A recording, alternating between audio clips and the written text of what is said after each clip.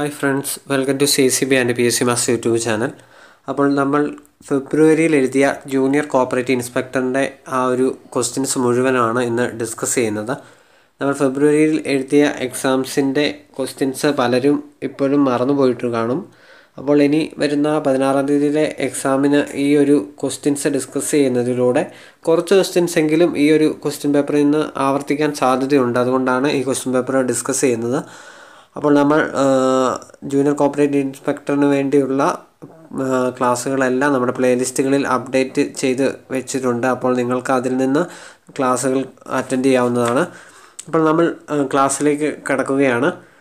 ഒന്നാമത്തെ ക്വസ്റ്റ്യൻ ഇതായിരുന്നു. The main object of forming a cooperative society is to dash അതായത് ഒരു കോപ്പറേറ്റീവ് സൊസൈറ്റി ഫോം ചെയ്യുന്നതിനുള്ള മെയിൻ ഉദ്ദേശം അതെന്താണെന്നുള്ളതായിരുന്നു ക്വസ്റ്റ്യൻ അതിന്റെ കൃത്യമായിട്ടുള്ള answer economic welfare of members economic welfare of members എന്നുള്ള ബി ഓപ്ഷൻ ആയിരുന്നു കൃത്യമായിട്ടുള്ള ആൻസർ രണ്ടാമത്തെ question chairman of CAPE CAPE എന്ന് വെച്ചാൽ cooperative academy of professional education in Kerala അതാണ് കേപ്പ് അപ്പോൾ കേപ്പിന്റെ ചെയർമാൻ ആര് എന്നുള്ളതാണ് ക്വസ്റ്റ്യൻ അതിന്റെ കൃത്യമായിട്ടുള്ള answer chief minister of Kerala കേരളത്തിലെ മുഖ്യമന്ത്രിയാണ് കേപ്പിന്റെ ചെയർമാൻ എന്നുള്ള കാര്യം നിർബന്ധമായും അറിഞ്ഞിരിക്കുക. വളരെ പ്രധാനപ്പെട്ട ക്വസ്റ്റ്യൻ ആണ്. അടുത്ത question form number use to create gahan. Gahan create ചെയ്യാൻ ഉപയോഗിക്കുന്ന ഫോം എത്ര നമ്പറാണ് എന്നുള്ളതാണ് ക്വസ്റ്റ്യൻ അതിന്റെ ആൻസർ ഓപ്ഷൻ എ ആയിരുന്നു. ഫോം എയ്റ്റ് എ ആണ്. ഗഹാൻ ക്രിയേറ്റ് ചെയ്യാൻ ഉപയോഗിക്കുന്ന ഫോമിന്റെ നമ്പർ. ഫോം എയ്റ്റ് എ നാലാമത്തെ question one man one vote principle was recommended by dash committee ഏത് കമ്മിറ്റിയുടെ റെക്കമെൻഡേഷൻ പ്രകാരമാണ് വൺ മാൻ വൺ വോട്ട് എന്നുള്ള ഒരു പ്രിൻസിപ്പിൾ ആ ഒരു തത്വം റെക്കമെൻഡ് ചെയ്തത്? അതിന്റെ ആൻസർ ഓപ്ഷൻ സി ആണ് മക്ലഗാൻ കമ്മിറ്റി മക്ലഗാൻ കമ്മിറ്റിയുടെ പ്രശസ്തമായ ഒരു റെക്കമെൻഡേഷൻ ആയിരുന്നു one man one vote principle next question the president of a society is dash the president of a cooperative society is dash അതായത് പ്രസിഡന്റിന്റെ കോപ്പറേറ്റീവ് സൊസൈറ്റിയിലെ പ്രസിഡന്റിന്റെ ആ ഒരു പൊസിഷനാണ് ഓപ്ഷൻ ബി ആണ് ആൻസർ ഓഫീസർ ഓഫീസർ പൊസിഷനാണ് ശരിക്കും കോപ്പറേറ്റീവ് സൊസൈറ്റിയിലെ പ്രസിഡന്റിന്റെ ആ പൊസിഷൻ ഓക്കെ അറിഞ്ഞിരിക്കുക. അടുത്ത question cooperation is included in the dash schedule of Indian constitution Indian ഭരണഘടനയുടെ എത്രാമത്തെ ഷെഡ്യൂളിലാണ് കോപ്പറേഷൻ എന്നുള്ള സബ്ജക്റ്റ് ഇൻക്ലൂഡ് ചെയ്തിരിക്കുന്നത്. അതിന്റെ ആൻസർ ഓപ്ഷൻ സി ആയിരുന്നു ഷെഡ്യൂൾ സെവൻ. ഷെഡ്യൂൾ സെവനിലാണ് കോപ്പറേഷൻ എന്നുള്ള സബ്ജക്റ്റ് ഇൻക്ലൂഡ് ചെയ്തിരിക്കുന്നത്. Next question the operation flood program was implemented through dash operation flood എന്നുള്ള പ്രശസ്തമായ പ്രോഗ്രാം ഏത് സ്ഥാപനം വഴിയായിരുന്നു ഇംപ്ലിമെന്റ് ചെയ്തത്? അത് ഓപ്ഷൻ ബി ആണ്. നാഷണൽ ഡയറി ഡെവലപ്മെന്റ് ബോർഡ് വഴി ഇംപ്ലിമെന്റ് ചെയ്ത പ്രശസ്തമായ പദ്ധതിയാണ് ഓപ്പറേഷൻ ഫ്ലഡ് പ്രോഗ്രാം. നെക്സ്റ്റ് എട്ടാമത്തെ ക്വസ്റ്റ്യൻ ആണ്. The multi state cooperative societies act two thousand two of India has incorporated dash in its second schedule അപ്പോൾ multi state cooperative societies act രണ്ടായിരത്തി രണ്ടിലാണ് അതിന്റെ സെക്കൻഡ് ഷെഡ്യൂളിൽ എന്താണ് ഇൻകോപ്പറേറ്റ് ചെയ്തിരിക്കുന്നത് എന്നുള്ളതാണ് ക്വസ്റ്റ്യൻ അപ്പോൾ അതിന്റെ ആൻസർ ശരിക്കും ഓപ്ഷനിലില്ല നൺ ഓഫ് ദീസ് ആണ് ഇതിന്റെ ആൻസറായിട്ട് പറയാവുന്നത്. ഓക്കെ ഒമ്പതാമത്തെ question in December two thousand nine the United Nations declared dash year as the international year of cooperatives in December two thousand nine the United Nations declare dash year as the international year of cooperatives രണ്ടായിരത്തി ഒമ്പതിലാണ് United Nations വേറൊരു വർഷം international year of cooperatives ആയി പ്രഖ്യാപിച്ചത്. ആ വർഷം ഏത് എന്നുള്ളതാണ് ക്വസ്റ്റ്യൻ അതിന് കൃത്യമായിട്ടുള്ള ആൻസർ ഓപ്ഷൻ എ ആണ്. രണ്ടായിരത്തി പന്ത്രണ്ടാണ് international year of cooperatives okay നിർബന്ധമായി അറിഞ്ഞിരിക്കുക. പത്താമത്തെ question the headquarters of international cooperative alliance I C A headquarters of international cooperative alliance I C A was shifted to Brussels in Belgium ബെൽജിയത്തിലെ ബ്രസൽസിലേക്ക് international cooperative അലയൻസിന്റെ headquarters shift ചെയ്ത വർഷം ഏത് എന്നുള്ളതാണ് question ചോദിച്ചിരിക്കുന്നത്. അതിന്റെ കൃത്യമായിട്ടുള്ള ആൻസർ ഓപ്ഷൻ ഡി ആയിരുന്നു. ടു തൗസൻഡ് തേർട്ടീനിലാണ് ബ്രസൽസിലേക്ക് ബെൽജിയത്തിലുള്ള ബ്രസൽസിലേക്ക് ഇന്റർനാഷണൽ കോപ്പറേറ്റീവ് അലയൻസിന്റെ ഹെഡ് ക്വാർട്ടേഴ്സ് ഷിഫ്റ്റ് ചെയ്തത്.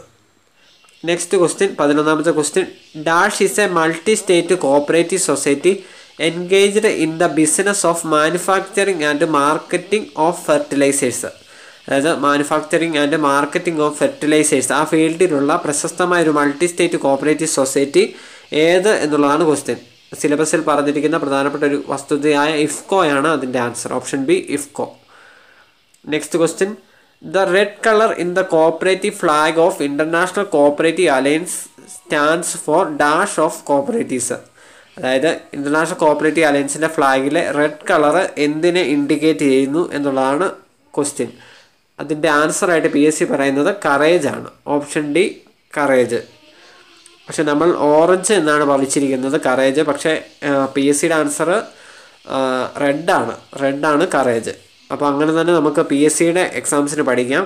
സി എസ് സി ബി എക്സാംസിന് ഓറഞ്ച് എന്നും പഠിക്കാം. ഓക്കെ നെക്സ്റ്റ് ക്വസ്റ്റ്യൻ പതിമൂന്നാമത്തെ question dash is an apex organisation founded on the birthday of Mahatma Gandhi on second October nineteen fifty eight nineteen fifty eight October സെക്കൻഡിന് അതായത് മഹാത്മാഗാന്ധിയുടെ ജന്മദിനത്തിൽ ജന്മദിനത്തിന്റെ ആ ഒരു മെമ്മറിയോട് ചേർന്ന് ഫൗണ്ട് ചെയ്ത ഒരു പ്രശസ്തമായ അപ്പെക്സ് ഓർഗനൈസേഷൻ ഏത് എന്നുള്ളതാണ് ക്വസ്റ്റ്യൻ. അതിന്റെ കൃത്യമായിട്ടുള്ള ആൻസർ ഓപ്ഷൻ എ ആണ് നാഫഡ് ആണ് നാഫഡ് ആണ് ആ സെക്കൻഡ് ഒക്ടോബർ നയന്റീൻ ഫിഫ്റ്റി എയ്റ്റിൽ ഫൗണ്ട് ചെയ്ത ആ ഒരു അപ്പെക്സ് ഓർഗനൈസേഷൻ. അടുത്ത ക്വസ്റ്റ്യൻ എന്ന് പറഞ്ഞാൽ പാക്സ്. പാക്സ് എന്ന് വെച്ചാൽ primary agriculture credit സൊസൈറ്റിയാണ് PACS PACS in cooperation stands for dash അപ്പോൾ അതിന്റെ കൃത്യമായിട്ടുള്ള ആൻസർ ഓപ്ഷൻ എ ആണ് പ്രൈമറി അഗ്രികൾച്ചർ ക്രെഡിറ്റ് സൊസൈറ്റി അപ്പോൾ നമുക്ക് ഈ ഓപ്ഷൻ നോക്കിയാൽ അറിയാം. നമുക്ക് കൃത്യമായിട്ട് ഇതിന്റെ ഫുൾ ഫോം അറിയില്ലെങ്കിൽ ഇത് ഈ ഒരു ക്വസ്റ്റ്യൻ വിട്ടേക്കുക. പ്രൈമറി അഗ്രികൾച്ചർ ക്രെഡിറ്റ് സൊസൈറ്റി എന്നുള്ളതാണ് പാക്സിന്റെ ഫുൾ ഫോം പതിനഞ്ചാമത്തെ ക്വസ്റ്റിനിൽ കിടക്കുകയാണ്. LAMPS stands for LAMPS. ലാംസിന്റെ full ഫോമാണ് ചോദിച്ചിരിക്കുന്നത്. അതിന്റെ കൃത്യമായിട്ടുള്ള ആൻസർ ഓപ്ഷൻ സി ആണ്. ഓപ്ഷൻ സി ആണ് ലാംസിന്റെ ഫുൾ ഫോം ലാർജ് സൈസിൽ ആദിവാസി മൾട്ടിപർപ്പസ് കോപ്പറേറ്റീവ് സൊസൈറ്റീസ് എന്നാണ് ലാംസിന്റെ ഫുൾ ഫോം അപ്പോൾ ലാംസിന്റെ ഫുൾ ഫോം അറിയത്തില്ലാത്തവർ എല്ലാവരും പഠിക്കുക. ലാർജ് സൈസിൽ ആദിവാസി മൾട്ടിപർപ്പസ് കോപ്പറേറ്റീവ് സൊസൈറ്റീസ് എന്നാണ് ലാംസിന്റെ ഫുൾ ഫോം പതിനാറാമത്തെ question societies exempted from the payment of audit fees under rule sixty five three rule sixty five ത്രീയിൽ ത്രീ പ്രകാരം ഓഡിറ്റ് ഫീസിൽ ഓഡിറ്റ് ഫീസ് പേ ചെയ്യുന്നതിൽ നിന്നും എക്സംപ്റ്റഡ് ആയിട്ടിരിക്കുന്ന താഴത്തെ ഒരു സൊസൈറ്റി ഏത് എന്നുള്ളതാണ് ക്വസ്റ്റ്യൻ അതിന്റെ കൃത്യമായിട്ടുള്ള ആൻസർ ഓൾ ഓഫ് ദീസ് ആണ്. അതായത് സോഷ്യൽ വെൽഫെയർ സൊസൈറ്റി അതുപോലെ തന്നെ സൊസൈറ്റി ഹാവിങ് കൺകറന്റ് ഓഡിറ്റർ അതുപോലെ society of which majority or all members are scheduled caste or scheduled tribe അപ്പോൾ ഇത്തരത്തിലുള്ള സൊസൈറ്റികളെല്ലാം അവരുടെ payment of audit fees exempted എന്നാണ് റൂൾ സിക്സ്റ്റി ഫൈവ് ത്രീയിൽ പറയുന്നത്. അപ്പോൾ അതിന്റെ ആൻസർ ഓൾ ഓഫ് ദീസ് ആയിരുന്നു. Next question the registrar shall make an order for the cancellation of the registration of the society under section dash അതായത് registration cooperative society registration cancel ചെയ്യാൻ registrar order issue ചെയ്യുന്നത് ഏത് section പ്രകാരമാണ് എന്നുള്ളതാണ് question. അതിന്റെ കൃത്യമായിട്ടുള്ള answer section seventy four ആണ് option B ആണ് ആൻസർ. സെക്ഷൻ സെവന്റി ഫോറിലാണ് രജിസ്ട്രാർ ക്യാൻസലേഷൻ ഓഫ് രജിസ്ട്രേഷനുള്ള ഓർഡർ ഇഷ്യൂ ചെയ്യുന്നത്. അടുത്ത question the government have the right to nominate not more than dash persons on the committee of an apex or central society the government have the right to nominate not more than dash persons on the committee of apex or central society apex അല്ലെങ്കിൽ central സൊസൈറ്റീസിൽ ഗവൺമെന്റിന് എത്ര പേര് കൂടുതൽ അല്ലെങ്കിൽ എത്ര പേരിൽ കൂടാതെ ആൾക്കാരെ നോമിനേറ്റ് ചെയ്യാൻ സാധിക്കും എന്നുള്ളതാണ് ക്വസ്റ്റ്യൻ അതിന്റെ കൃത്യമായിട്ടുള്ള ആൻസർ ഓപ്ഷൻ എ ആണ് ടു അപ്പെക്സ് അല്ലെങ്കിൽ സെൻട്രൽ സൊസൈറ്റീസിൽ രണ്ട് പേരെ വരെ ഗവൺമെന്റ് നോമി നോമിനേറ്റ് ചെയ്യാം. അതിൽ കൂടുതൽ പാടില്ല. രണ്ട് പേരെ വരെ നോമിനേറ്റ് ചെയ്യാമെന്നാണ് പറയുന്നത്. Next question. പത്തൊമ്പതാമത്തെ. Dash is based on the principle of self interest maximisation of profit and exploitation. അപ്പോൾ self interest maximisation of profit and exploitation. ഈ ഒരു തത്വത്തിൽ ഊന്നി നിൽക്കുന്ന ആ ഒരു ഐഡിയലിസം ഏതാണെന്നാണ് ക്വസ്റ്റ്യൻ. അതിന്റെ കൃത്യമായിട്ടുള്ള ആൻസർ നമുക്കറിയാം. ഓപ്ഷൻ ബി ആണ് ക്യാപിറ്റലിസം ക്യാപിറ്റലിസത്തെക്കുറിച്ചൊക്കെ നമ്മൾ ക്ലാസ് എടുത്തിരുന്നു. അപ്പോൾ ക്യാപിറ്റലിസത്തിന്റെ പ്രത്യേകതകളാണ് self interest maximisation of profit and exploitation okay അത് പഠിക്കുക. ഇരുപതാമത്തെ question which one of the following is related to Shri Chaudhary Brahm Prakash Chaudhary ബ്രഹ്മപ്രകാശുമായി ബന്ധപ്പെട്ടിരിക്കുന്നത്. താഴെ പറയുന്നത് എന്താണ്? Option A ex member of parliament former general secretary national cooperative union of India അതുപോലെ former union minister of agriculture and cooperation all of these അപ്പോൾ അതിൽ കൃത്യമായിട്ടുള്ള answer all of these ആണ്. അതായത് എക്സ് മെമ്പർ ഓഫ് പാർലമെന്റ് ആയിരുന്നു ചൗധരി ബ്രഹ്മപ്രകാശ് അതുപോലെ തന്നെ former general secretary national cooperative യൂണിയന്റെ ഫോർമർ ജനറൽ സെക്രട്ടറി ആയിരുന്നു അതുപോലെ former union minister of agriculture and cooperation ആയിരുന്നു ചൗധരി ബ്രഹ്മപ്രകാശ്. അപ്പോൾ ഓൾ ഓഫ് ദീസ് ആയിരുന്നു ആൻസർ അടുത്ത ഇരുപത്തി ഒന്നാമത്തെ ക്വസ്റ്റ്യൻ ആണ് multi state cooperative societies act two thousand two was enacted with the objective of dash multi state cooperative societies act two thousand two enact ചെയ്തത്. താഴെ പറയുന്ന എന്ത് ഒബ്ജക്റ്റീവ് ബേസ് ചെയ്താണ് എന്ത് ഉദ്ദേശത്തോടു കൂടിയാണ് എന്നുള്ളതാണ് ക്വസ്റ്റ്യൻ അപ്പോൾ അതിന്റെ കൃത്യമായിട്ടുള്ള ആൻസർ ഓപ്ഷൻ ഡി തന്നെയാണ്. ഓൾ ഓഫ് ദീസ് ആണ്.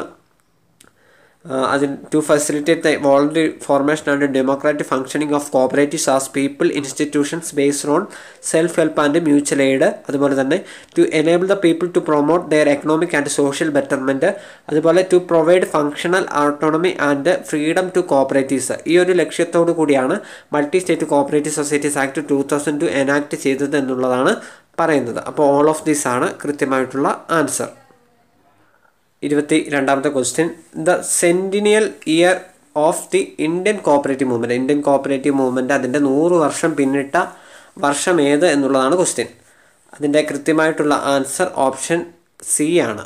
രണ്ടായിരത്തി നാലിലാണ് ഇന്ത്യൻ കോപ്പറേറ്റീവ് മൂവ്മെന്റ് നൂറ് വർഷം പിന്നിട്ട വർഷം.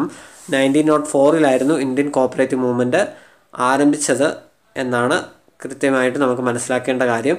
അപ്പോൾ അതിന്റെ നൂറാം വാർഷികമായിരുന്നു രണ്ടായിരത്തി നാലിൽ next question the expert group on agriculture indebtedness was set up in August two thousand six under the chairmanship of dash the expert group on agricultural indebtedness was set up in August two thousand six two thousand six അതിന്റെ chairman ആരായിരുന്നു എന്നുള്ളതാണ് question അപ്പോൾ അതിന്റെ കൃത്യമായിട്ടുള്ള answer option A ആണ്. R Radhakrishna ആയിരുന്നു. R Radhakrishna R രാധാകൃഷ്ണയായിരുന്നു expert group on agriculture indebtedness എന്നുള്ള ആ ഒരു കമ്മിറ്റിയുടെ chairman A R Radhakrishnan R Radhakrishnan. Okay ഇരുപത്തിനാലാമത്തെ ക്വസ്റ്റിലേക്ക് കടക്കുകയാണ്. Education fund of every cooperative society has to be paid within dash months from the date of receipt of audit certificate audit certificate കിട്ടിയതിന് കിട്ടിയതിന് ശേഷം എത്ര മാസങ്ങൾക്കുള്ളിലാണ് എഡ്യൂക്കേഷൻ ഫണ്ട് ഒരു cooperative society pay ചെയ്യേണ്ടത്? അതിന്റെ കൃത്യമായിട്ടുള്ള ആൻസർ ഓപ്ഷൻ ബി ആണ്. രണ്ട് മാസം. രണ്ട് മാസത്തിനുള്ളിൽ എഡ്യൂക്കേഷൻ ഫണ്ട് പേ ചെയ്യണം. എന്ത് കിട്ടിയതിന് ശേഷം? റെസിപ്റ്റ് ഓഫ് ഓഡിറ്റ് സർട്ടിഫിക്കറ്റ് കിട്ടിയതിന് ശേഷം. Okay? Next question. Collective management is realised by the cooperative organisation through dash. അപ്പോൾ ഇരുപത്തി അഞ്ചാമത്തെ ക്വസ്റ്റിന് പി എസ് സി കട്ട് ചെയ്തിരുന്നു. അപ്പോൾ ഈ ഒരു ക്വസ്റ്റ്യൻ ഒഴിവാക്കിയാണ് ഇപ്പോൾ പി എസ് സി പുതിയ ആൻസർ കീ ഒക്കെ പബ്ലിഷ് ചെയ്തത്. അപ്പോൾ നമുക്ക് ഈ ഒരു ക്വസ്റ്റ്യൻ ഇരുപത്തഞ്ചാമത്തെ ഒഴിവാക്കുകയാണ്. ഇരുപത്തിയാറാമത്തെ question which of the following is not a cooperative federation in India താഴെ പറയുന്നതിൽ കോപ്പറേറ്റീവ് ഫെഡറേഷൻ അല്ലാത്തത് ഏത് എന്നുള്ളതാണ് ക്വസ്റ്റ്യൻ അതിന്റെ കൃത്യമായിട്ടുള്ള ആൻസർ ഓപ്ഷൻ ബി ആണ്. Mother Dairy Mother Dairy not a cooperative federation എന്നാൽ നാഫട്ട് ഇഫ്കോ ക്രിപ്കോ തുടങ്ങിയവയെല്ലാം കോപ്പറേറ്റീവ് ഫെഡറേഷനാണ്. മദർ മദർ ഡയറി എന്നുള്ളത് കോപ്പറേറ്റീവ് ഫെഡറേഷൻ അല്ല എന്ന് മനസ്സിലാക്കുക. ഇരുപത്തിയേഴാമത്തെ ക്വസ്റ്റ്യൻ ആണ് founder of the first cooperative journal the cooperator. The cooperator എന്നുള്ള ഫസ്റ്റ് കോപ്പറേറ്റീവ് ജേണലിന്റെ ഫൗണ്ടർ ആര് എന്നുള്ളതാണ് ക്വസ്റ്റ്യൻ. അപ്പോൾ അതിന്റെ കൃത്യമായിട്ടുള്ള ആൻസർ നമുക്കെല്ലാം അറിയാം. ഡോക്ടർ വില്യം കിങ് ആണ് കോപ്പറേറ്റർ എന്നുള്ള ആ cooperative journal first cooperative ജേണലിന്റെ founder doctor William King next question ഇരുപത്തിയെട്ടാമത്തെ question which one of the following is correctly matched registration certificate section eight affiliation to apex society section eight final authority in a society section twenty six application for registration of cooperative society section six അപ്പോൾ ഇങ്ങനെ കുറേ സെക്ഷൻസും അതിനോട് match ചെയ്യുന്നതാണോ അല്ലയോ എന്നറിയാത്ത കുറച്ച് ആൻസറും തന്നിരിക്കുന്നു. അപ്പോൾ നമുക്ക് കൃത്യ സെക്ഷനും അതുപോലെ അതുമായി ബന്ധപ്പെട്ടിരിക്കുന്ന ആ സെക്ഷനിൽ പറഞ്ഞിരിക്കുന്ന വസ്തുതയും നമുക്ക് കൃത്യമായിട്ട് അറിയില്ലെങ്കിൽ ഇങ്ങനത്തെയുള്ള ക്വസ്റ്റ്യൻസ് ഒക്കെ ഉറപ്പായിട്ടും വിടുക. അപ്പോൾ ഇതിന്റെ കൃത്യമായിട്ടുള്ള ആൻസർ ഓപ്ഷൻ ഡി ആണ്. Application for registration of cooperative society section six ആണ് കൃത്യമായിട്ടുള്ള ആൻസർ എന്നാൽ ബാക്കിയൊക്കെ നമുക്ക് അറിയില്ലെങ്കിൽ നമ്മൾ വേറെ കുത്താൻ സാധ്യതയുണ്ട്. അപ്പോൾ ഇങ്ങനത്തെ ഉള്ള ക്വസ്റ്റ്യൻ വിടുക. എങ്കിലും ഇത് കൃത്യമായി പഠിച്ചു നോക്കുക. Application for registration of cooperative societies section സിക്സിലാണ് പറഞ്ഞിരിക്കുന്നത്. Okay next question part of banking regulation act applicable for cooperative societies cooperative സൊസൈറ്റീസിന് applicable ആയിട്ടുള്ള ബാങ്കിങ് റെഗുലേഷൻ ആക്ട് ഏത് എന്നുള്ള ആക്ടിന്റെ ഭാഗം ഏത് എന്നുള്ളതാണ് ക്വസ്റ്റ്യൻ അപ്പോൾ അതിന്റെ കൃത്യമായിട്ടുള്ള ആൻസർ ഓപ്ഷൻ സി ആണ്. പാർട്ട് ഫൈവ് ആണ്. ബാങ്ക് റെഗുലേഷൻ ആക്ടിന്റെ പാർട്ട് ഫൈവ്. ബാങ്ക് റെഗുലേഷൻ ആക്ടിന്റെ പാർട്ട് ഫൈവ് ആണ് കോപ്പറേറ്റീവ് സൊസൈറ്റീസിന് ആപ്ലിക്കബിൾ ആയിട്ടുള്ളത്. ഓക്കെ? നിർബന്ധമായി പഠിക്കുക. Part five of bank regulation act is applicable for cooperative societies. മുപ്പതാമത്തെ question. Dash is an officer or person appointed under section sixty eight A of Kerala cooperative societies act. Section sixty eight A പ്രകാരം appoint ചെയ്യപ്പെടുന്ന officer അല്ലെങ്കിൽ പേഴ്സണ് പറയുന്ന പേരാണ് option C vigilance officer. Vigilance ഓഫീസറാണ് Kerala cooperative societies ആക്ടിന്റെ section sixty eight A പ്രകാരം appoint ചെയ്യപ്പെടുന്ന ആ ഓഫീസറിന് പറയുന്ന പേര്. ഓക്കെ മുപ്പത്തി ഒന്നാമത്തെ ക്വസ്റ്റിന് കടക്കുകയാണ്. Cooperation become a state subject from dash year onwards ഏത് വർഷം മുതലാണ് കോപ്പറേഷൻ ഒരു സ്റ്റേറ്റ് സബ്ജക്റ്റായിട്ട് മാറിയത്? മുപ്പത്തി ഒന്നാമത്തെ ക്വസ്റ്റിന് കൃത്യമായിട്ടുള്ള ആൻസർ നയന്റീൻ നയന്റീൻ മുതലാണ്. നയന്റീൻ നയന്റീൻ മുതലാണ് cooperation become a state subject ആയിരത്തി തൊള്ളായിരത്തി പത്തൊമ്പത് മുതലാണ് cooperation become a state subject nineteen nineteen മുതൽ. മുപ്പത്തിരണ്ടാമത്തെ ക്വസ്റ്റിലേക്ക് കടക്കുകയാണ്. V K Patil committee was appointed by the government of India in the year dash V K Patil committee. ഈ കമ്മിറ്റിയെ ഗവൺമെന്റ് ഓഫ് ഇന്ത്യ അപ്പോയിന്റ് ചെയ്തതാണ്. അപ്പോൾ ഏത് വർഷമായിരുന്നു ഗവൺമെന്റ് ഓഫ് ഇന്ത്യ ഈ കമ്മിറ്റി അപ്പോയിന്റ് ചെയ്തത് എന്നുള്ളതാണ് ക്വസ്റ്റ്യൻ അപ്പോൾ കൃത്യമായിട്ടുള്ള ആൻസർ ഓപ്ഷൻ എ ആയിരുന്നു. രണ്ടായിരത്തി ഒന്നിലായിരുന്നു ഈ കമ്മിറ്റിയെ അപ്പോയിന്റ് ചെയ്തത്. മുപ്പത്തി മൂന്നാമത്തെ question the first general body meeting of a cooperative society has to be convened within dash days from the date of registration registration നടന്നതിന് ശേഷം ഒരു കോപ്പറേറ്റീവ് സൊസൈറ്റിയുടെ ഫസ്റ്റ് ജനറൽ ബോഡി എത്ര നാളുകൾക്കുള്ളിൽ വിളിച്ചു ചേർക്കണമെന്നുള്ളതാണ് ക്വസ്റ്റ്യന് ചോദിച്ചിരിക്കുന്നത്. അതിന് കൃത്യമായിട്ടുള്ള ആൻസർ ഓപ്ഷൻ ബി ആയിരുന്നു. തൊണ്ണൂറ് ദിവസത്തിനകം ആണ് ഫസ്റ്റ് ജനറൽ ബോഡി വിളിക്കേണ്ടത് എന്നുള്ള കാര്യം കൃത്യമായി പഠിച്ചിരിക്കുക. മുപ്പത്തി നാലാമത്തെ question. International cooperative day is celebrated in every year on dash. International cooperative ഡേയുടെ ഒരു പ്രത്യേകത എന്ന് വെച്ചാൽ ഒരു വർഷത്തിലെ ഒരു പ്രത്യേക ദിവസമാണ് എല്ലാ വർഷവും കോപ്പറേറ്റീവ് ഡേ ആയിട്ട് സെലിബ്രേറ്റ് ചെയ്യുന്നത്. ആ ഒരു ഡേറ്റും മാസവുമാണ് പ്രത്യേകമായി ചോദിച്ചിരിക്കുന്നത്. അത് കൃത്യമായിട്ടുള്ള ആൻസർ ഓപ്ഷൻ എ ആണ്. ഫസ്റ്റ് സാറ്റർഡേ ഓഫ് ജൂലൈ ജൂലൈയിലെ ആദ്യ ശനിയാഴ്ചയിലാണ് ഇന്റർനാഷണൽ കോപ്പറേറ്റീവ് ഡേ എല്ലാ വർഷവും സെലിബ്രേറ്റ് ചെയ്യുന്നത് എന്നുള്ള കാര്യം കൃത്യമായും പഠിക്കുക. Next question there is similarity between cooperation and capitalism in respect of dash കോപ്പറേഷനും ക്യാപിറ്റലിസവും തമ്മിലൊരു കാര്യത്തിൽ സാമ്യമുണ്ട്. അത് താഴെ പറയുന്ന നാല് ഓപ്ഷനിൽ ഏതിലാണ് എന്നുള്ള കാര്യമാണ് ചോദിച്ചിരിക്കുന്നത്. അതിന് കൃത്യമായിട്ടുള്ള ആൻസർ നമുക്ക് പറയാൻ സാധിക്കും. ഓപ്ഷൻ സിയിലാണ് ഹോൾഡിംഗ് ഓഫ് പ്രൈവറ്റ് പ്രോപ്പർട്ടിയിലാണ് കോർപ്പറേഷനും ക്യാപിറ്റലിസവും തമ്മിലുള്ള ഒരു സാമ്യമായി നമുക്ക് ഈ ഓപ്ഷനിൽ നിന്ന് കണ്ടെത്താൻ സാധിക്കുന്നത്. ഹോൾഡിംഗ് ഓഫ് പ്രൈവറ്റ് പ്രോപ്പർട്ടി മുപ്പത്തി ആറാമത്തെ question the section of Kerala cooperative societies act which provides protection to the share capital and other interest of a member in in a society from the attachment and sale in execution of a decree the section of Kerala cooperative societies act which provide protection to the share capital and other interest of member in a society from the attachment and sale of execution of a decree sale in execution of ഡിഗ്രിയിൽ നിന്നും ഒരു cooperative സൊസൈറ്റിയിലെ മെമ്പറിന്റെ share capital അതുപോലെ other ഇൻട്രസ്റ്റിനെ protect ചെയ്യുന്ന Kerala cooperative societies ആക്ടിന്റെ section ഏതെന്നുള്ളതാണ് ക്വസ്റ്റ്യൻ ചോദിച്ചിരിക്കുന്നത്. അതിന്റെ കൃത്യമായിട്ടുള്ള ആൻസർ ഓപ്ഷൻ സി ആയിരുന്നു.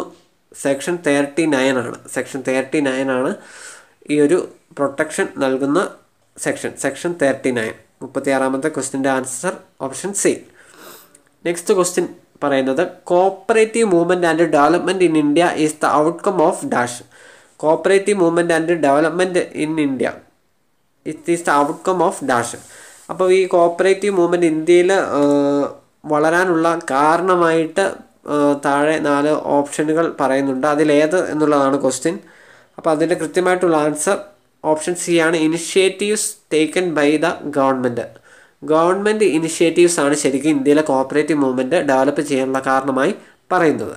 നിർബന്ധമായും പഠിക്കുക.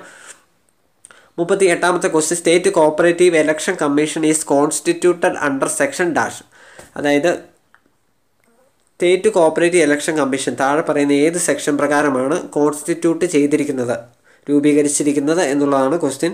അതിന്റെ കൃത്യമായിട്ടുള്ള ആൻസർ ഓപ്ഷൻ എ ആണ്. സെക്ഷൻ ട്വന്റി എയ്റ്റ് ബി പ്രകാരമാണ് state cooperative election commission രൂപീകരിച്ചിരിക്കുന്നത്. Section twenty eight B. അടുത്ത ക്വസ്റ്റ്യൻ മുപ്പത്തി ഒമ്പതാമത്തെ question മുപ്പത്തൊമ്പതാമത്തെ question P S C cancel ചെയ്തിരുന്നു. അപ്പോൾ നമ്മൾ ഇത് വിടുകയാണ്. അടുത്ത ക്വസ്റ്റ്യനിലേക്ക് കടക്കുകയാണ്. നാൽപ്പതാമത്തെ question NABARD is a dash. NABARD താഴെ പറയുന്നതിൽ എന്തിനുദാഹരണമാണ് അപ്പോൾ നാൽപ്പതാമത്തെ ക്വസ്റ്റിന്റെ കൃത്യമായിട്ടുള്ള ആൻസറായിട്ട് പറയുന്നത് ഓപ്ഷൻ ബി ആണ്. ഡെവലപ്മെന്റ് ബാങ്കിന് ഉദാഹരണമാണ് NABARD. NABARD is a development bank എന്ന് പറയാൻ സാധിക്കും. NABARD is a development bank. നാൽപ്പത്തി ഒന്നാമത്തെ question the structure of cooperative urban bank in Kerala is dash. കേരളത്തിലെ കോപ്പറേറ്റീവ് അർബൻ ബാങ്ക്സിന്റെ സ്ട്രക്ചർ ഏത് തരമാണ് എന്നുള്ളതാണ് ക്വസ്റ്റ്യൻ ചോദിച്ചിരിക്കുന്നത്. അപ്പോൾ അതിന്റെ കൃത്യമായിട്ടുള്ള ആൻസർ ഓപ്ഷൻ എ ആണ്. സിംഗിൾ ടയർ സ്ട്രക്ചറാണ് കേരളത്തിലെ അർബൻ കോപ്പറേറ്റീവ് ബാങ്ക്സിന്റെ സ്ട്രക്ചർ കേരളത്തിലെ അർബൻ കോപ്പറേറ്റീവ് ബാങ്കിന്റെ സ്ട്രക്ചർ എന്ന് പറഞ്ഞാൽ സിംഗിൾ ടയർ സ്ട്രക്ചർ ആണെന്നുള്ള കാര്യം നിർബന്ധമായും അറിഞ്ഞിരിക്കുക. നാൽപ്പത്തി രണ്ടാമത്തെ question the general council of N C D C consist of dash members N C D സിയുടെ ജനറൽ കൗൺസിലിൽ എത്ര മെമ്പേഴ്സ് ഉണ്ട് എന്നുള്ളതാണ് ക്വസ്റ്റ്യൻ അതിന്റെ കൃത്യമായിട്ടുള്ള ആൻസർ ഓപ്ഷൻ സി ആണ്. ഓപ്ഷൻ സി ആണ്. അമ്പത്തിയൊന്ന് പേരാണ്. അമ്പത്തിയൊന്ന് പേരാണ് എൻ സി ഡി സിയിലെ ജനറൽ കൗൺസിലിനുള്ളത് അമ്പത്തി ഒന്ന് പേരാണ് general council of N C D C നാൽപ്പത്തി മൂന്നാമത്തെ question the reasons for the ninety seventh constitutional അമെൻമെന്റ് act of two thousand eleven are dash അതായത് രണ്ടായിരത്തി പതിനൊന്നിലെ നയന്റി സെവൻത് കോൺസ്റ്റിറ്റ്യൂഷണൽ അമെൻമെന്റ് ആക്ടിന്റെ പ്രധാനപ്പെട്ട കാരണങ്ങൾ ഏതൊക്കെയാണെന്നാണ് ചോദിച്ചിരിക്കുന്നത്. അതിന്റെ കൃത്യമായിട്ടുള്ള ആൻസറായി പറയുന്നത് ഓപ്ഷൻ ഡി ആണ്. ഓൾ ഓഫ് ദീസ് ആണ്. ഓൾ ഓഫ് ദീസ് ആണ് കൃത്യമായിട്ടുള്ള ആൻസറായി പറയുന്നത്. അപ്പോൾ നമുക്ക് അതൊന്ന് വായിക്കാം. ഈ ഓപ്ഷൻ എല്ലാം ശരിയാണ്. Over the years the corporate sector has made significant contribution to various sectors of national economy our it has achieved large growth but it has shown weakness in safeguarding the interest of the members and fulfilment of object for which these institutions were organised there have been in incidences where elections have been postponed in, indefinitely. Nominated office bearers have remained in charge of these institutions for a long time, resulting reduction in the accountability of cooperative societies to their members. അപ്പോൾ cooperative സെക്ടറിൽ ഉണ്ടായ കുറച്ച് പോരായ്മകൾ അതായത് രാഷ്ട്രീയപരമായും അല്ലാത്ത കാര്യങ്ങൾ മൂലം ഉണ്ടായ ചില പ്രശ്നങ്ങളൊക്കെ പരിഹരിക്കാനും അതുപോലെ കോപ്പറേറ്റീവ് സൊസൈറ്റീസിനുണ്ടായ ലാർജ് ഗ്രോത്ത് അതുപോലെ significant contribution from the cooperative society ഇതൊക്കെ കാരണം നയന്റി സെവൻത് കോൺസ്റ്റിറ്റ്യൂഷണൽ അമെൻമെന്റ് അനിവാര്യമായി വന്നു. അപ്പോൾ അങ്ങനെ ഇത്തരം കാരണങ്ങളാലാണ് നയന്റി സെവൻത് കോൺസ്റ്റിറ്റ്യൂഷണൽ അമെൻമെന്റ് രണ്ടായിരത്തി പതിനൊന്നിൽ വന്നത് എന്നുള്ള കാര്യം നിർബന്ധമായും പഠിക്കുക. നാൽപ്പത്തി നാലാമത്തെ question which article in Indian constitution make the formation of cooperative society a fundamental right to right of Indian citizen അതായത് co formation of cooperative society എന്നുള്ളത് ഇന്ത്യൻ സിറ്റിസണിന്റെ ഒരു ഫണ്ടമെന്റൽ റൈറ്റ് ആയിട്ട് വരാൻ കാരണമായ ഇന്ത്യൻ കോൺസ്റ്റിറ്റ്യൂഷണൽ അമെൻമെന്റ് അല്ലെങ്കിൽ ആ ഒരു അമെൻമെന്റിലൂടെ വന്ന ആർട്ടിക്കിൾ ഏതാണ് ഏത് എന്നുള്ളതാണ് ക്വസ്റ്റ്യൻ ചോദിച്ചിരിക്കുന്നത്. അതിന്റെ കൃത്യമായിട്ടുള്ള ആൻസർ ഓപ്ഷൻ എ ആണ്. നയന്റീൻ സി ആണ് ഈ ഒരു article formation of cooperative society become fundamental right of Indian citizen nineteen C പ്രകാരമാണ് ഈ ഒരു ആർട്ടിക്കിൾ പ്രകാരമാണ് ഈ ഒരു അമെൻമെന്റ് അല്ലെങ്കിൽ ഈ ഒരു അവകാശം ഒരു പൗരന് ലഭിച്ചത്. നാൽപ്പത്തി അഞ്ചാമത്തെ question power to make rules as per Kerala cooperative societies act is vested on dash power to make rules അപ്പോൾ ഈ പവർ ടു മേക്ക് റൂൾസ് എന്നുള്ള അധികാരം കേരള കോപ്പറേറ്റീവ് സൊസൈറ്റീസ് ആക്ട് പ്രകാരം ആരിൽ നിക്ഷിപ്തമായിരിക്കുന്നു? അതാണ് ക്വസ്റ്റ്യൻ നാൽപ്പത്തി അഞ്ചാമത്തെ ക്വസ്റ്റിന്റെ ആൻസർ ഓപ്ഷൻ എ ആണ്. ഗവൺമെന്റിൽ നിക്ഷിപ്തമായിരിക്കുന്ന ഒരു അധികാരമാണ് power to make rules as per Kerala cooperative societies act നാൽപ്പത്തി ആറാമത്തെ ക്വസ്റ്റിന് കിടക്കുകയാണ്. Dash was the chairman of high powered committee on cooperatives appointed by government of India in two thousand nine two thousand നയനിൽ appoint ചെയ്ത high powered കമ്മിറ്റിയുടെ head അല്ലെങ്കിൽ chairman ആരായിരുന്നു എന്നുള്ളതാണ് question അപ്പോൾ അതിന്റെ ആൻസർ ഓപ്ഷൻ എ ആണ്. ശിവാജി റാവു പാട്ടിലാണ് ഹൈ പവേഡ് കമ്മിറ്റി ഓൺ കോപ്പറേഷന്റെ ഹെഡ് ശിവാജി റാവു പാട്ടീൽ. നാൽപ്പത്തി ഏഴാമത്തെ question an officer who executes the award is called dash award execute ചെയ്യുന്ന ആ ഓഫീസറിന് പറയുന്ന പേര് എന്ത് എന്നുള്ളതാണ് ക്വസ്റ്റ്യൻ അതിന്റെ കൃത്യമായിട്ടുള്ള ആൻസർ ഓപ്ഷൻ എ ആണ്. സെയിൽ ഓഫീസറാണ് അവാർഡ് എക്സിക്യൂട്ടീവ് ചെയ്യുന്ന ആൾ. അവാർഡ് എക്സിക്യൂട്ട് ചെയ്യുന്നത് സെയിൽ ഓഫീസറാണെന്നുള്ള കാര്യം നിർബന്ധമായും പഠിക്കുക. നാൽപ്പത്തി എട്ടാമത്തെ question chairman of the Kerala cooperative information bureau advisory committee Kerala corporate cooperative information bureau advisory കമ്മിറ്റിയുടെ ചെയർമാൻ ആര് എന്നുള്ളതാണ് ക്വസ്റ്റ്യൻ അതിന്റെ കൃത്യമായിട്ടുള്ള ആൻസർ ഓപ്ഷൻ എ ആണ്. സെക്രട്ടറി കോപ്പറേറ്റീവ് ഡിപ്പാർട്ട്മെന്റിന്റെ സെക്രട്ടറിയാണ് chairman of the Kerala cooperative information bureau advisory കമ്മിറ്റിയുടെ chairman. Kerala cooperative information bureau advisory കമ്മിറ്റിയുടെ ചെയർമാനാണ് secretary of cooperative department next question. Surcharge is levied under section dash of Kerala cooperative societies act. Kerala cooperative societies ആക്ടിന്റെ ഏത് section പ്രകാരമാണ് surcharge levy ചെയ്യേണ്ടത്? അതിന്റെ കൃത്യമായിട്ടുള്ള answer option B ആണ്.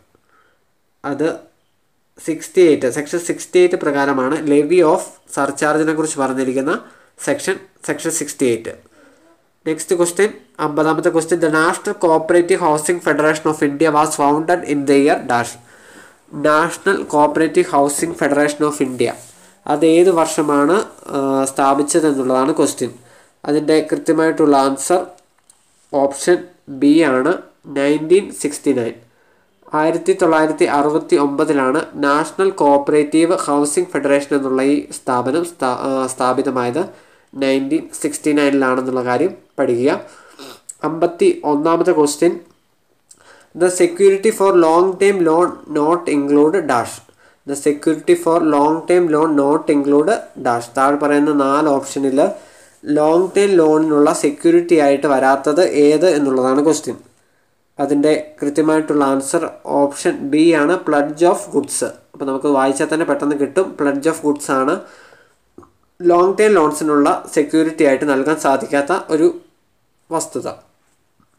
അമ്പത്തി രണ്ടാമത്തെ question bridge loans which are provide to the industrial undertaking for dash bridge loans which are provided to the industrial undertaking for dash bridge loans എന്തിനാണ് ഇൻഡസ്ട്രീസിന് നൽകുന്നത് എന്നുള്ളതാണ് ക്വസ്റ്റ്യൻ അത് കൃത്യമായിട്ടുള്ള ആൻസർ ഓപ്ഷൻ സി ആയിരുന്നു. Meeting short time urgent needs short time urgent ആയിട്ടുള്ള needs short time urgent needs meet ചെയ്യാൻ വേണ്ടിയാണ് ബ്രിഡ്ജ് ലോൺസ് ഇൻ ഇൻഡസ്ട്രീസിന് നൽകുന്നത്. ഓപ്ഷൻ സി ആയിരുന്നു answer meeting of short time urgent needs ആയിരുന്നു ബ്രിഡ്ജ് ലോൺസിന്റെ answer okay അമ്പത്തിമൂന്നാമത്തെ question capital adequacy is one of the pillars of dash norms for good governance അതായത് താഴെ പറയുന്ന ഏത് നോംസിന്റെ ഒരു വൺ പില്ലർ ആയിരുന്നു ക്യാപിറ്റൽ ആഡിക്വസി എന്നുള്ളതാണ് ക്വസ്റ്റ്യൻ അതിന്റെ കൃത്യമായിട്ടുള്ള ആൻസർ ഓപ്ഷൻ ബി ആണ്.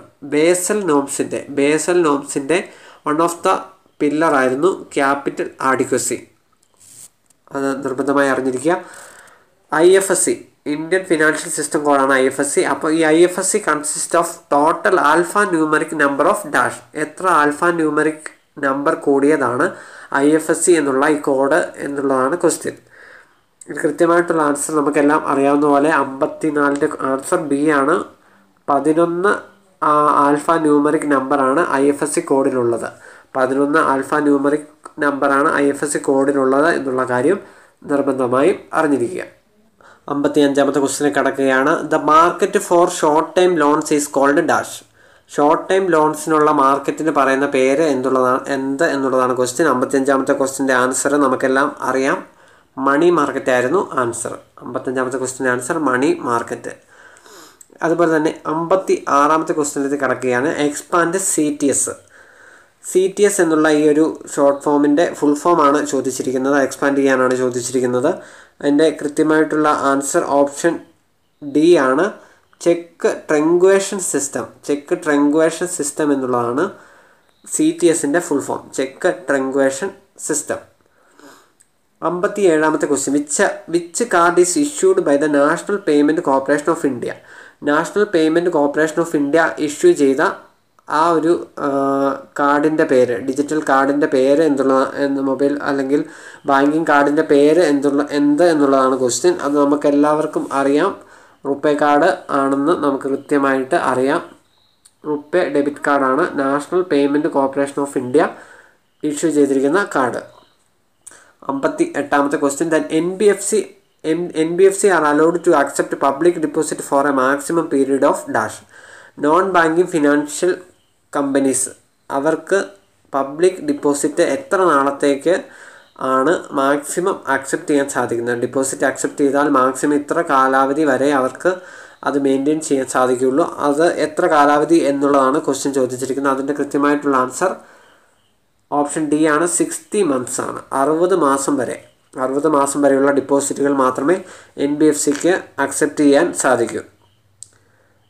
സിക്സ്റ്റി മന്ത്സ് അമ്പത്തി ഒമ്പതാമത്തെ question the rate of interest in the call money market is determined by dash call money മാർക്കറ്റിലെ റേറ്റ് ഓഫ് ഇൻട്രസ്റ്റ് ഫിക്സ് ചെയ്ത് ചെയ്യുന്നത് ആര് എന്നുള്ളതാണ് ക്വസ്റ്റ്യൻ അതിന്റെ കൃത്യമായിട്ടുള്ള ആൻസർ ഓപ്ഷൻ എ ആയിരുന്നു. Lenders and borrowers lenders and borrowers ആണ് rate of interest in the call money market determine ചെയ്യുന്നത്. അറുപതാമത്തെ question the drawer of a cheque is mention mention the date subsequent to the date on which it is known it is called dash അതായത് subsequent date ആയിട്ടുള്ള ഒരു check draw ചെയ്താൽ അത്തരത്തിലുള്ള ചെക്കിന് പറയുന്ന പേര് എന്ത് ഏത് എന്നുള്ളതാണ് ചോദിച്ചിരിക്കുന്നത്. അതിന്റെ കൃത്യമായിട്ടുള്ള ആൻസർ ഓപ്ഷൻ ബി ആയിരുന്നു. Post date cheque subsequent date ആണെങ്കിൽ അത്തരം ചെക്കുകൾക്ക് പറയുന്ന പേരാണ് പോസ്റ്റ് ഡേറ്റഡ് ചെക്ക് അറുപത്തി ഒന്നാമത്തെ question demonetisation of bank notes of rupees five hundred and rupees one thousand was announced on dash ഏത് വർഷമായിരുന്നു? അല്ലെങ്കിൽ ഏത് വർഷം ഏത് ഡേറ്റ് ആയിരുന്നു? ഡിമോണിറ്റൈസേഷൻ ഓഫ് ബാങ്ക് നോട്ട്സ് അഞ്ഞൂറിന്റെ ആയിരത്തിന്റെയും ബാങ്ക് നോട്ട്സ് നിരോധിച്ചുകൊണ്ടുള്ള ഒരു ഒരു ഉത്തരവ് ഇറങ്ങിയത് ഏത് ദിവസമായിരുന്നു എന്നുള്ളതാണ് ക്വസ്റ്റ്യൻ അതിന്റെ കൃത്യമായിട്ടുള്ള ആൻസർ ഓപ്ഷൻ ഡി ആയിരുന്നു. രണ്ടായിരത്തി പതിനാറ് നവംബർ എട്ടിനായിരുന്നു. രണ്ടായിരത്തി പതിനാറ് November എട്ടിനായിരുന്നു demonetisation of bank notes five ഹൺഡ്രഡിന്റെയും അതുപോലെ തൗസൻഡിന്റെയും നോട്ട്സ് നിരോധിച്ച ആ ഒരു വർഷവും ഡേറ്റും രണ്ടായിരത്തി പതിനാറ് നവംബർ എട്ട്.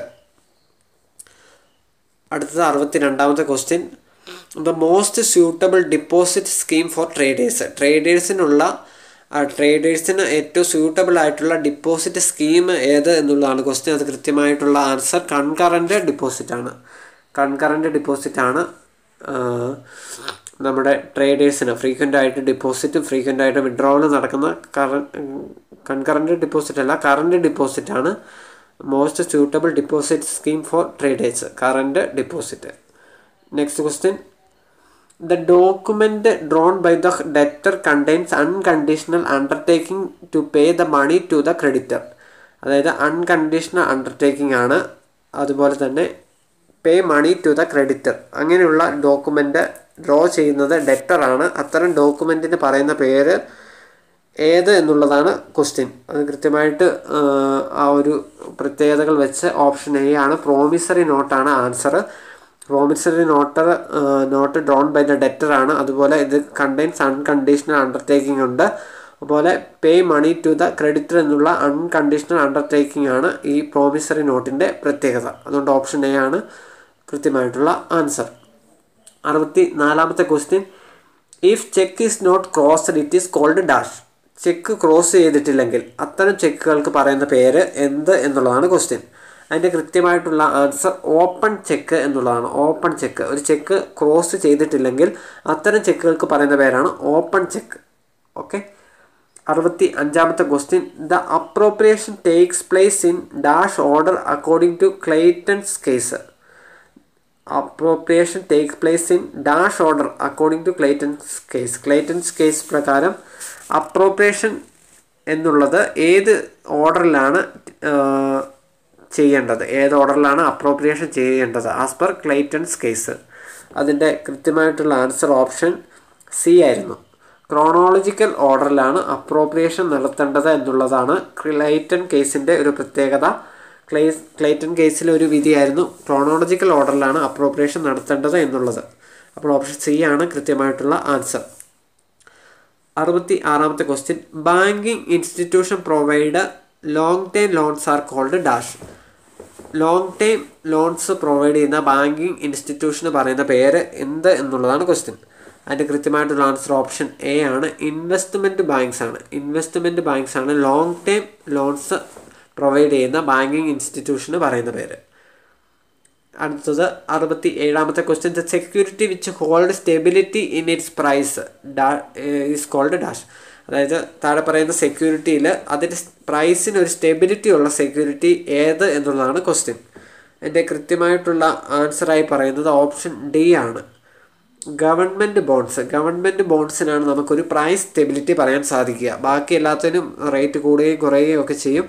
എങ്കിൽ ഗവൺമെന്റ് ബോൺസിന് ഒരു പ്രൈസ് സ്റ്റെബിലിറ്റി ഉള്ള എന്നുള്ള കാര്യം പഠിക്കുക. അതുപോലെ അറുപത്തി എട്ടാമത്തെ question the higher cash reserve ratio will lead to dash cash reserve ratio higher ആണെങ്കിൽ അത് എന്തിലേക്ക് നയിക്കും എന്നുള്ളതാണ് ക്വസ്റ്റ്യൻ അതിന്റെ കൃത്യമായിട്ടുള്ള ആൻസർ ഓപ്ഷൻ ബി ആണ്. ലോവർ വോളിയം ഓഫ് ക്രെഡിറ്റ് കൂടുതൽ നമ്മൾ ക്യാഷ് റിസർവ് ചെയ്ത് കയ്യിൽ വെച്ചാൽ അതിന്റെ അർത്ഥം നമുക്ക് ലോൺസ് അല്ലെങ്കിൽ ലെൻഡ് ചെയ്യാൻ നമ്മുടെ കയ്യിൽ ക്യാഷ് കുറവായിരിക്കും. അപ്പോൾ ലോവർ വോളിയം ഓഫ് ക്രെഡിറ്റ് എന്നുള്ളതാണ് ആൻസർ അറുപത്തി ഒമ്പതാമത്തെ question the priority sector lending not include dash താഴെ പറയുന്നവയിൽ പ്രിയോറിറ്റി സെക്ടർ ലെൻഡിങ്ങിൽ ഉൾപ്പെടാത്തത് ഏത് എന്നുള്ളതാണ് ക്വസ്റ്റ്യൻ അതിന്റെ കൃത്യമായിട്ടുള്ള ആൻസർ ഓപ്ഷൻ സി ആണ്. Large scale industries large scale industry industries priority സെക്ടറിൽ വരുന്നില്ല. എന്നാൽ അഗ്രികൾച്ചർ അതുപോലെ housing finance small scale industrial units തുടങ്ങിയവയൊക്കെ പ്രിയോറിറ്റി സെക്ടറിൽ വരുന്ന വരുന്ന കാര്യമാണ്. അപ്പോൾ answer option C large scale industries എഴുപതാമത്തെ question during the period of inflation the R B I dash the securities in the open market open മാർക്കറ്റിൽ നിന്ന് ഇൻഫ്ലേഷന്റെ സമയത്ത് R B I securities എന്ത് ചെയ്യും എന്നുള്ളതാണ് ക്വസ്റ്റ്യൻ അതിന്റെ കൃത്യമായിട്ടുള്ള ആൻസർ ഓപ്ഷൻ സി ആണ് sells open മാർക്കറ്റിലേക്ക് R B I securities sell ചെയ്യും. ഇൻഫ്ലേഷന്റെ സമയത്ത് പണപ്പെരുപ്പത്തിന്റെ സമയത്ത് R B I securities sell ചെയ്യും ഓപ്പൺ മാർക്കറ്റിലേക്ക് ഓക്കെ അടുത്തത് എഴുപത്തി ഒന്നാമത്തെ question the activities of agriculture credit department is handled by dash agricultural credit ഡിപ്പാർട്ട്മെന്റിന്റെ ആക്ടിവിറ്റീസ് ഹാൻഡിൽ ചെയ്യുന്നത് ഏത് ഇൻസ്റ്റിറ്റ്യൂഷനാണ് എന്നുള്ളതാണ് ക്വസ്റ്റ്യൻ അതിന്റെ കൃത്യമായിട്ടുള്ള ആൻസർ നബാർഡാണ് നബാർഡാണ് activities of agriculture credit department handle ചെയ്യുന്നത്. ഓക്കെ എഴുപത്തി രണ്ടാമത്തെ question the reserve bank of India started it function on dash reserve bank of India അതിന്റെ ഫങ്ഷൻ സ്റ്റാർട്ട് ചെയ്ത വർഷം ഏതാണ് എന്നുള്ളതാണ് ക്വസ്റ്റ്യൻ അതിന്റെ കൃത്യമായിട്ടുള്ള ആൻസർ നമുക്കെല്ലാം അറിയാം. Nineteen thirty five option D ആയിരുന്നു. ആർ ബി ഐ അതിന്റെ ഫങ്ഷൻ സ്റ്റാർട്ട് ചെയ്ത വർഷം നയന്റീൻ തേർട്ടി ഫൈവ് മുതലാണ്. അടുത്ത question the following is not a nationalised bank താഴെ പറയുന്നവയിൽ നാഷണലൈസ്ഡ് ബാങ്ക് അല്ലാത്തത് ഏത് എന്നുള്ളതാണ് ക്വസ്റ്റ്യൻ അപ്പോൾ ഇതിന്റെ അകത്ത് നൺ ഓഫ് ദീസ് ആയിരുന്നു ശരിക്കും ആൻസർ വരേണ്ട പക്ഷേ ഇവിടെ കാനറ ബാങ്കിന് കാനഡ ബാങ്കെന്നും അങ്ങനെയൊക്കെ പറഞ്ഞ മിസ്റ്റേക്ക് ഒക്കെ വന്നുകൊണ്ട് ഈ question P S C cancel ചെയ്തു. അപ്പോൾ അത് നമ്മൾ വിടുകയാണ്. എഴുപത്തി നാലാമത്തെ question demand draft is issued by dash demand draft is issued by option എഴുപത്തിനാലിന്റെ option A ആണ് demand draft issued by bank bank ആണ് ഡിമാൻഡ് ഡ്രാഫ്റ്റ് ഇഷ്യൂ ചെയ്യുന്നത്. എഴുപത്തി അഞ്ചാമത്തെ ക്വസ്റ്റിനിലേക്ക് കിടക്കുകയാണ്. എഴുപത്തഞ്ചാമത്തെ question E C S means E C S എന്നുള്ളതിന്റെ full form ആണ് ചോദിച്ചിരിക്കുന്നത്.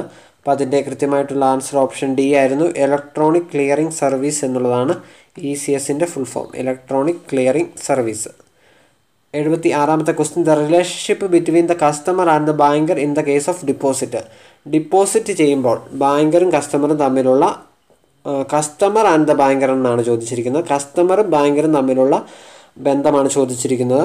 അപ്പോൾ അതിന്റെ കൃത്യമായിട്ടുള്ള ആൻസർ ഓപ്ഷൻ ഡി ആയിരുന്നു. Option D none of these ആണ്. കാരണം കസ്റ്റമർ ക്രെഡിറ്ററും ബാങ്കർ ഡെറ്ററുമാണ് കൃത്യമായിട്ടുള്ള answer option B debtor and creditor എന്ന് പെട്ടെന്ന് നമ്മൾ അങ്ങനെ കുത്തരുത്. കാരണം അത് ബാങ്കർ കസ്റ്റമർ എന്നാണെങ്കിൽ ഡെറ്റർ ആൻഡ് ക്രെഡിറ്റർ ആണ് ആൻസർ. എന്നാൽ ഇവിടെ ചോദിച്ചിരിക്കുന്നത് കസ്റ്റമർ ആൻഡ് ദ ബാങ്കർ എന്നാണ് ചോദിച്ചിരിക്കുന്നത്.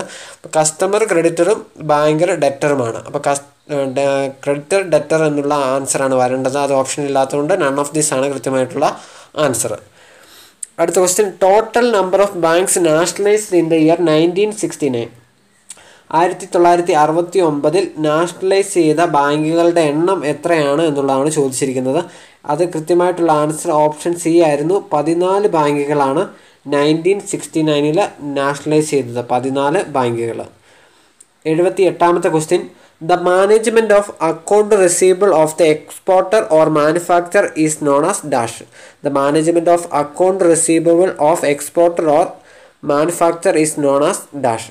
എക്സ്പോർട്ടറിന്റെ അല്ലെങ്കിൽ മാനുഫാക്ചറിന്റെ ഇത് കൂട്ടെന്താ അക്കൗണ്ട് റിസീവബിൾ അതായത് കിട്ടാൻ പണം കടം കൊടുത്തിട്ട് കിട്ടാനുള്ളതൊക്കെ മാനേജ് ചെയ്യുന്നതിന് അതൊക്കെ പിരിക്കുന്നതിനും അല്ലെങ്കിൽ അതൊക്കെ തിരിച്ചു പിടിക്കുന്നതിനുമൊക്കെയുള്ള ആ ഒരു സർവീസിന് പറയുന്ന പേര് എന്തുള്ളതാണ് എന്ത് എന്നുള്ളതാണ് ക്വസ്റ്റ്യൻ അതിന്റെ കൃത്യമായിട്ടുള്ള ആൻസർ സി ആണ് ഫാക്ടറിങ് ആണ്. ഫാക്ടറിങ് ആണ് അക്കൗണ്ട് റിസീവബിൾസ് തിരിച്ചു പിടിക്കാൻ വേണ്ടി ഉള്ള സർവീസിന് പറയുന്ന പേര്.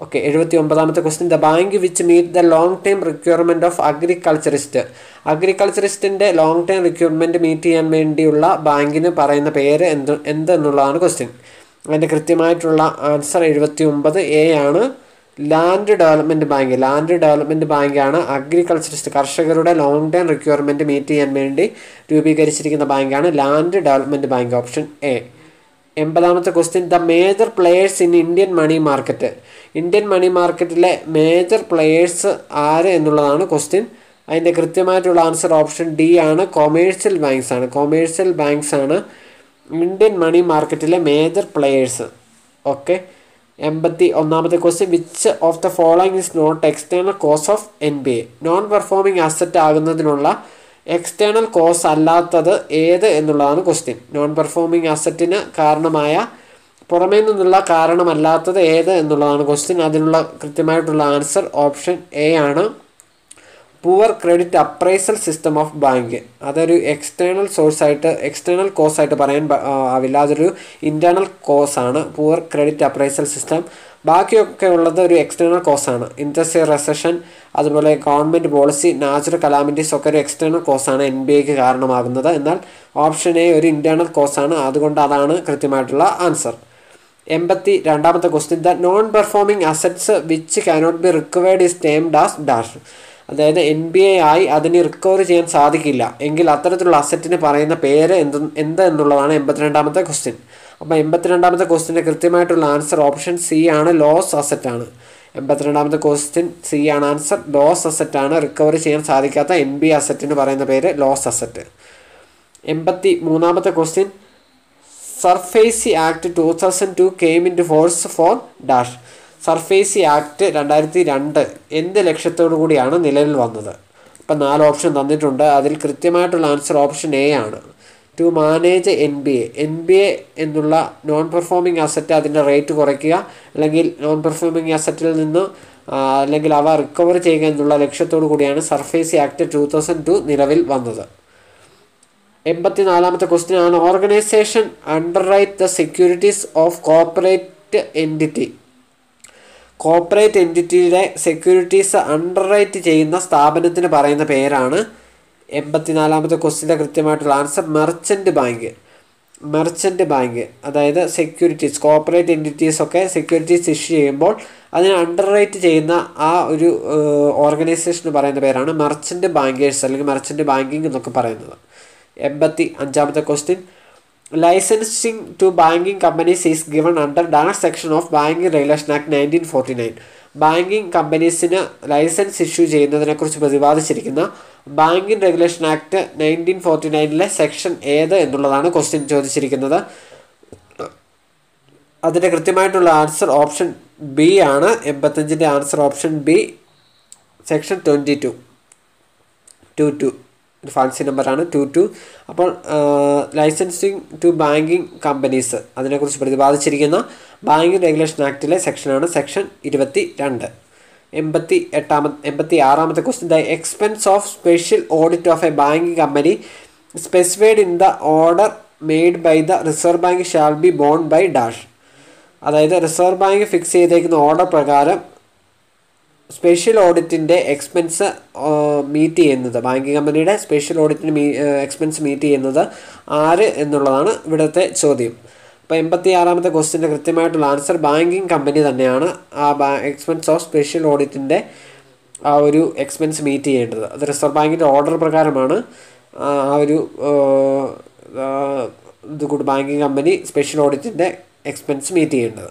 എൺപത്തി ഏഴാമത്തെ question as per P M J J B Y scheme Y scheme on the death of insured risk coverage available is dash P M J J B Y prime minister's Jeevan Jyoti Bima യോജനയാണ് P M J J B Y ഈ scheme പ്രകാരം risk coverage എത്ര രൂപ വരെ ലഭിക്കുമെന്നുള്ളതാണ് question അപ്പോൾ അതിന്റെ കൃത്യമായിട്ടുള്ള answer option A ആയിരുന്നു. രണ്ട് ലക്ഷം രൂപ വരെയാണ് റിസ്ക് കവറേജ് ലഭിക്കുക. Risk coverage. ഇൻഷു ഇൻഷുവേർഡ് മരിച്ചു പോയാൽ അദ്ദേഹത്തിന് കിട്ടാവുന്ന ഒരു ഇൻഷുറൻസ് കവറേജ് രണ്ട് ലക്ഷം രൂപ. പ്രൈം മിനിസ്റ്റേഴ്സ് ജീവൻ ജ്യോതി ബീമാ യോജന വഴി. അടുത്തത് under Atal pension Yojana the guaranteed pension receivable at the age of dash. എൺപത്തി എട്ടാമത്തെ ക്വസ്റ്റിന്റെ കൃത്യമായിട്ടുള്ള ആൻസർ ഓപ്ഷൻ സി ആയിരുന്നു. അറുപത് വർഷം അറുപതാം വർഷം അല്ലെങ്കിൽ അറുപത് വയസ്സാകുമ്പോൾ അടൽ പെൻഷൻ യോജനയിൽ പെൻഷൻ ലഭിക്കാൻ തുടങ്ങുന്ന പ്രായമാണ് അറുപത് വയസ്സ്. എൺപത്തി ഒമ്പതാമത്തെ question the right of set off means dash. Right of set off എന്ന് പറഞ്ഞാൽ അതിന്റെ അർത്ഥം എന്ത്? എൺപത്തി ഒമ്പതാമത്തെ ക്വസ്റ്റിന്റെ ആൻസർ ഡി ആണ്. റൈറ്റ് ടു കമ്പൈൻ എന്നുള്ളതാണ് റൈറ്റ് ഓഫ് സെറ്റ് ഓഫിന്റെ ഒരു meaning. Right to combine. തൊണ്ണൂറാമത്തെ question the banker's lien is always dash ബാങ്കറുടെ ലീന് എപ്പോഴും എന്തായിരിക്കും? തൊണ്ണൂറാമത്തെ ക്വസ്റ്റിന്റെ ആൻസർ ഓപ്ഷൻ എ ആയിരുന്നു. ജനറൽ ലീൻ ആണ്. General lien banker's lien is always general lien തൊണ്ണൂറ്റി ഒന്നാമത്തെ ക്വസ്റ്റ്യൻ ഐ ടി തുടങ്ങുകയാണ് input input and output device such as monitors and keyboards are classified as dash input and output devices such as monitors keyboard തുടങ്ങിയ input output device ഏത് തരത്തിലുള്ള devices ആയിട്ടാണ് classify ചെയ്തിരിക്കുന്നത്. അതിന്റെ കൃത്യമായിട്ടുള്ള ആൻസർ ഓപ്ഷൻ സി ആണ് peripheral devices peripheral devices ആയി classify ചെയ്തിരിക്കുന്ന ഡിവൈസസ് ആണ് ഇൻപുട്ട് ആൻഡ് ഔട്ട്പുട്ട് ഡിവൈസസിലെ മോണിറ്റേഴ്സ് കീബോർഡ്സ് തുടങ്ങിയവ. ഒരു പെരിഫറൽ ഡിവൈസസിന് ഉദാഹരണമാണ്. തൊണ്ണൂറ്റി രണ്ടാമത്തെ question two type of memories RAM and ROM are part of dash. റാമും റോമും ഏത് തരം മെമ്മറിക്ക് മെമ്മറിയുടെ ഭാഗമാണ്? ഏത് തരം മെമ്മറിയുടെ ഭാഗമാണ് റാമും റോമും? തൊണ്ണൂറ്റി രണ്ടാമത്തെ ക്വസ്റ്റിന്റെ ആൻസർ ബി ആയിരുന്നു. മെയിൻ മെമ്മറിയുടെ ഭാഗമാണ് റാം ആൻഡ് റോം റാമും റോമും മെയിൻ മെമ്മറിയുടെ ഭാഗമാണ്. തൊണ്ണൂറ്റി മൂന്നാമത്തെ question examples of system programs includes dash examples of system programs includes അതിന്റെ ഓപ്ഷൻ ഓപ്ഷൻ ഡി ആയിരുന്നു ഓൾ ഓഫ് ദീസ് ആയിരുന്നു കൃത്യമായിട്ടുള്ള answer operating system of computer trace program compiler തുടങ്ങിയവയൊക്കെ സിസ്റ്റം പ്രോഗ്രാമിന് എക്സാമ്പിൾ ആയിരുന്നു.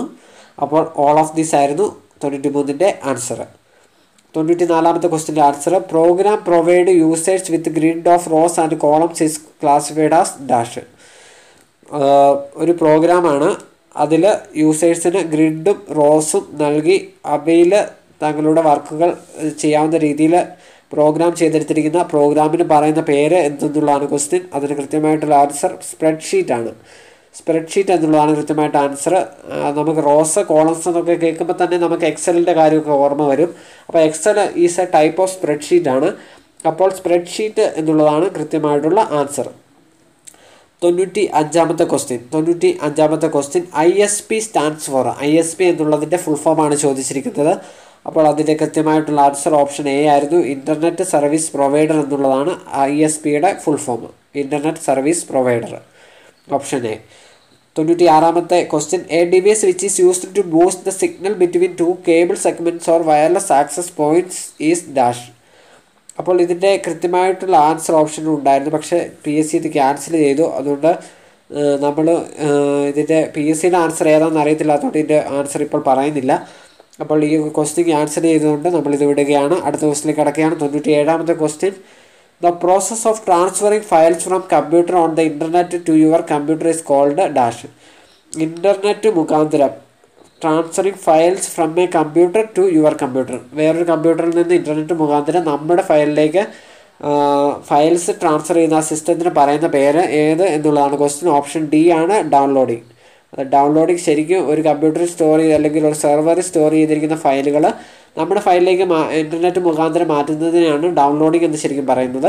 അപ്പോൾ ഡൗൺലോഡിംഗ് ആണ് ഓപ്ഷൻ ഡി ആണ് കൃത്യമായിട്ടുള്ള ആൻസർ തൊണ്ണൂറ്റി എട്ടാമത്തെ question which one of the following is not used to generate dynamic web pages dynamic web pages generate ചെയ്യാൻ ഉപയോഗിക്കുന്ന ഇല്ലാത്ത ഒരു എന്താണ്? ഒരു പ്രോഗ്രാം അല്ലെങ്കിൽ ഒരു ലാംഗ്വേജ് ഏത് ഏതാന്ന് ഏതെന്നുള്ളതാണ് ക്വസ്റ്റ്യൻ ചോദിച്ചിരിക്കുന്നത്. ഡൈനാമിക് വെബ് പേജസ് ജനറേറ്റ് ചെയ്യാൻ യൂസ് ചെയ്യുന്നില്ലാത്ത ഒരു ലാംഗ്വേജ് അതേത് എന്നുള്ളതാണ് ക്വസ്റ്റ്യൻ തൊണ്ണൂറ്റി എട്ടാമത്തെ ക്വസ്റ്റ്യൻ ഓപ്ഷൻ ഡി ആയിരുന്നു നൺ ഓഫ് ദി മെൻഷൻഡ് അപ്പോൾ അതിന്റെ അർത്ഥം P H P J S P A S P dot net തുടങ്ങിയവയൊക്കെ ഡൈനാമിക് വെബ് പേജസ് ജനറേറ്റ് ചെയ്യാൻ ഉപയോഗിക്കുന്ന കമ്പ്യൂട്ടർ ലാംഗ്വേജസ് ആയിരുന്നു. അപ്പോൾ none of the none of the mentioned ആണ് കൃത്യമായിട്ടുള്ള answer the computer jargon W W W W stands for dash നാല് W ആണ്. അപ്പോൾ വേൾഡ് വൈഡ് വെബ് എന്ന് നമുക്ക് അറിയാം പക്ഷേ ഇത് ചോദിച്ചിരിക്കുന്നത് നാല് ഡബ്ല്യു ആണ്. അതിന്റെ ഫുൾ അത് സ്റ്റാൻഡ്സ് ഫോർ വാട്ട് എന്നാണ് ക്വസ്റ്റ്യൻ ചോദിച്ചിരിക്കുന്നത്. അതിന് കൃത്യമായിട്ടുള്ള answer world wide web worm എന്നുള്ളതാണ് കൃത്യമായിട്ടുള്ള answer world wide web worm. അപ്പോൾ ഡബ്ല്യു ഡബ്ല്യു ഡബ്ല്യു ഡബ്ല്യു അപ്പോൾ അതിന്റെ answer world wide web worm. നൂറാമത്തെ ക്വസ്റ്റ്യൻ ഒത്തിരിയേറെ പേര് തെറ്റിച്ച ക്വസ്റ്റ്യനാണ് what is the updated version of the I T act two thousand I T act two thousand two thousand updated version ഏത് എന്നുള്ളതാണ് question അപ്പോൾ ഒത്തിരിയേറെ പേര് എഴുതിയ ആൻസർ ഓപ്ഷൻ ഡി ആയിരുന്നു. പക്ഷേ കൃത്യമായിട്ടുള്ള ആൻസർ ഓപ്ഷൻ സി ആയിരുന്നു I T act two thousand eight ശരിക്കും ഐ ടി ആക്ട് അമെൻഡ് ചെയ്ത വർഷമാണ് ടു തൗസൻഡ് എയ്റ്റ് അപ്പോൾ നമ്മൾ ഓർക്കും അഡ്വാൻസ്ഡ് ഐ ടി ആക്ട് ആയിരിക്കും എന്ന് ഓർത്ത് നമ്മൾ ഓപ്ഷൻ ഡിയിൽ കുത്തും. പക്ഷേ കൃത്യമായിട്ടുള്ള answer I T act two thousand eight അതിന് പ്രത്യേകിച്ചൊരു ഒരു കാര്യവും അതിന്റെ കൂടെ ആഡ് ചെയ്തിട്ടില്ല. I T act two thousand അതുപോലെ I T act two thousand eight എന്നിങ്ങനെയാണ് അറിയപ്പെടുന്നത്. അതിന്റെ കൂടെ അഡ്വാൻസ്ഡ് അല്ലെങ്കിൽ അമൻഡ് തുടങ്ങിയ കാര്യങ്ങളൊന്നും കൂട്ടിച്ചേർത്തിട്ടില്ല. അപ്പോൾ നൂറിന്റെ ആൻസർ ഓപ്ഷൻ സി ആയിരുന്നു. അപ്പോൾ നമ്മൾ നൂറ് ക്വസ്റ്റിനും ഡിസ്കസ് ചെയ്തു. വളരെ വേഗത്തിലാണ് ഡിസ്കസ് ചെയ്തത്. അപ്പോൾ നിങ്ങൾ മനസ്സിലാകാത്ത ക്വസ്റ്റ്യൻ ഉണ്ടെങ്കിൽ ഒന്നുകൂടെ കാണുക. അതുപോലെ തന്നെ നമുക്ക് ഈ ക്വസ്റ്റ്യൻ എല്ലാം ഒന്നുകൂടെ റിപ്പീറ്റ് ചെയ്ത് കാണുകയാണെങ്കിൽ കുറേ ക്വസ്റ്റ്യൻ ഇതിൽ നിന്നും ഒക്ടോബർ പതിനാറിലെ എക്സാമിലേക്ക് വരാൻ സാധ്യതയുണ്ടെന്നാണ് തോന്നുന്നത്. അപ്പോൾ അതുകൊണ്ടാണ് ഈ ക്വസ്റ്റിനൊക്കെ ഒന്നുകൂടി ആവർത്തിച്ചത് മറന്നുപോയവർ വീണ്ടും കണ്ട് ഓർമ്മ പുതുക്കുക. അപ്പോൾ ഇഷ്ടപ്പെട്ട ലൈക്ക് ചെയ്യുക ഷെയർ ചെയ്യുക കമന്റ് ചെയ്യുക കൂടാണ്ട് സബ്സ്ക്രൈബ് ചെയ്യുക. എല്ലാവർക്കും നല്ലൊരു ദിവസം ആശംസിക്കുന്നു. താങ്ക്